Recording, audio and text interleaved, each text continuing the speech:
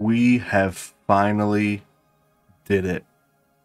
It took ages to beat level 8-5. I thought we were going to need Beryl. We were going to summon on her to try to get her. And I ended up finally figuring out a formation that actually worked for this.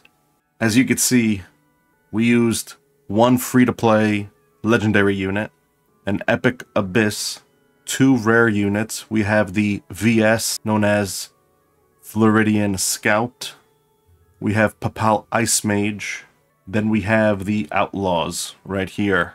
I'm going to show you guys the formation. If I do sound tired is because this map stressed me out so much. I did it over 30 something times. I tried to figure out going headstrong, going from above, going from below. I did every possible aspect.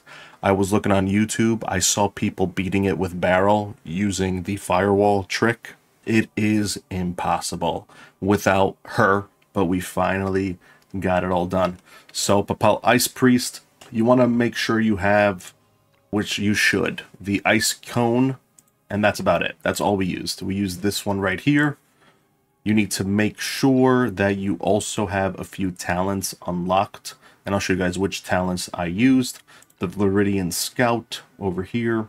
Ended up putting Cole's equipment on. So we have the Void Scab, and then we have this one. We got pretty lucky with our legendary gear. We got this uh, use healing, which we use on one of the bosses. So we got that one. You're going to be heavily using shrapnel, which is very important. For Abyss, here we have this staff that should do um, RNG. There's a 40% chance to receive it. You're going to be using her at the end when you're going up against Samantha. And you're going to want to use this skill, Dark Ripple. So make sure do not use it so that you're wasting the three energy. Make sure she has energy because at towards the end when she's about to die, you want to use this to avoid her from regaining any health. Because when Samantha dies, in this one, she regains a good amount of HP. Here we have the Outlaw Assassin. I did not even put a thing on him he will be a fodder towards the end, but don't even worry about it. You don't even have to equip anything. As long as you have just a weapon on, on him is fine. You're going to also be using Shrapnel. This dude is a complete ninja. You're going to see him going from one point of the map across to the other side of the map like a ninja. For the Outlaw Archer, same thing.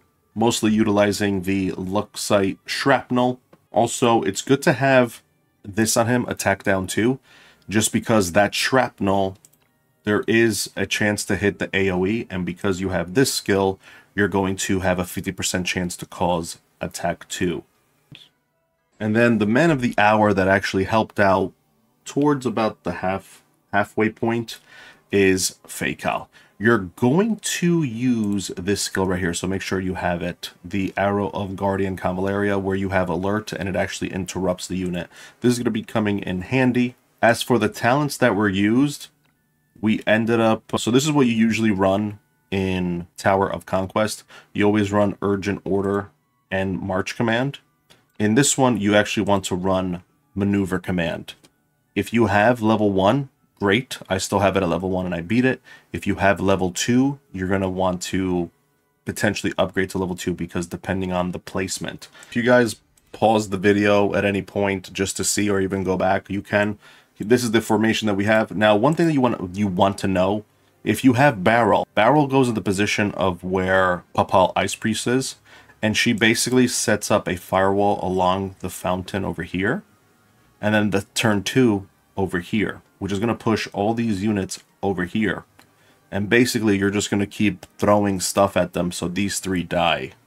And up here, you're going to want at least three units going right along this line right here so that the boulder can roll and kill at least two units, which primarily it's going to kill Vine and Papal Ice Mage. It's going to keep Stormbreaker at about maybe 40%, anywhere from 40 to 50, about, about 40% health. This Samantha is absolutely insane. You get in her AoE, you're dead. These two guys right here, these two, are absolutely insane together. But luckily, we're going to show you guys exactly what we did. We're going to pause it from here from time to time to just show you everything because it might go pretty fast. So on the bottom floor, we have uh, VS, Abyss, and Papal Ice Priest. Now VS is Viridian Scout. I don't want to keep saying VS, but we have that here. Up top, we have Faycal. Up here, this is the Recruited Assassin, RA. And then we have the OA, which is the Outlaw Archer.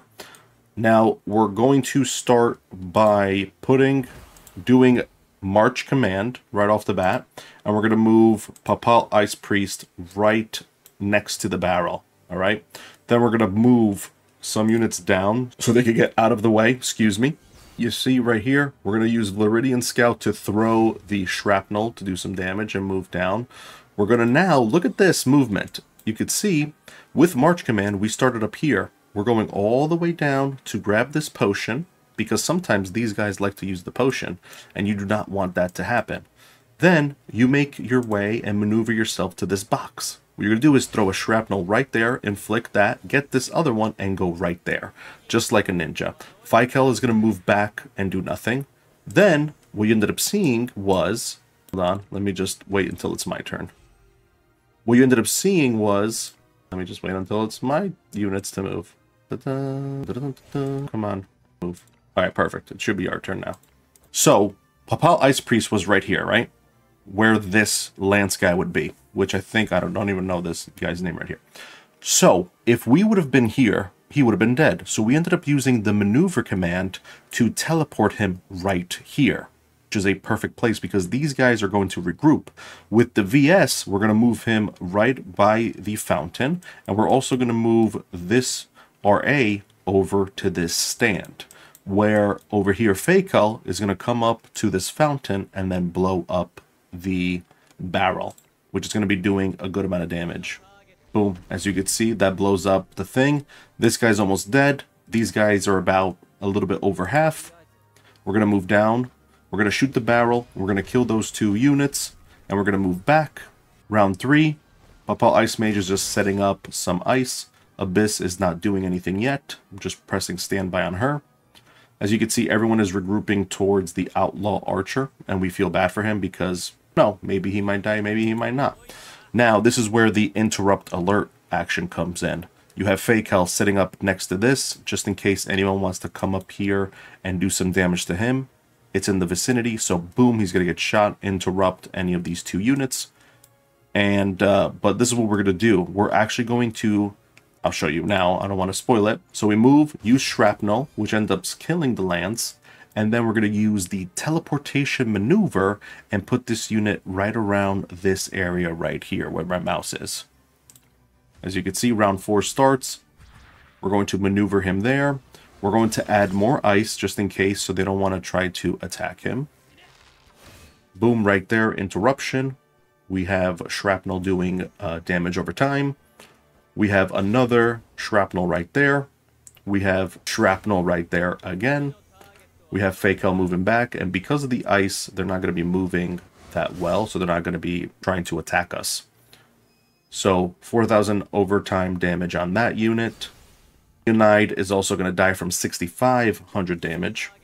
Now we're just regrouping. We're making sure everyone is set up. Everyone gets their energy. And this is where Abyss is going to shine. As you can see, Samantha is setting up her AoE. Now, mind you, in this red area right here, as soon as she's got to do that AoE, people are going to die, so make sure to stay out of it. So our goal is to get Stormbreaker to die. So we're going to just regroup, move down, position, do some standby action. We're not doing anything. So we're going to put some ice down just to slow down the movement. AoE is going to kill some boxes. Oh, not really. So 300 damage on that, 200 damage on that. We're going to do March Command again do some shrapnel to affect the both of them, go downstairs, do the same thing, shrapnel, go downstairs. Then we're going to do foot stopping, which is going to make her not move that much because she will do a nice damage when it comes to after the AoE, she does that one little strike thing if you guys played story mode. So we're going to use that and then move a few steps back. We're going to do another shrapnel on her only because this is going to die soon. We're going to come down, do another layer of ice so it blocks Storm, and he dies, or she dies, sorry. Stormbreaker dies. Now we're going to go in for the kill, do some damage. We teleported Abyss. As you can see, because now we're going in for the kill. If we decide to kill Samantha, she's going to gain HP. All right, we do not want that to happen. So we ended up teleporting Abyss from this direction to over here, which is what it permitted us to because it's four tiles only. So we got one, two, three, four. And when it's her turn, she's going to use her Dark Ripple effect, which is going to actually stop her from healing. So we're going to do this. Round nine, Papal Ice Mage is going to stay still. Dark Ripple only did 83 damage, but look what happens now. I told you, RA is going to be a death fodder. So, right there, death fodder, boom. Because of all the shrapnel and everything, she dies, taking almost 2,000 damage. She completely dies, and we win the battle. If you guys enjoyed the video, make sure to leave a like, comment, and subscribe. Peace.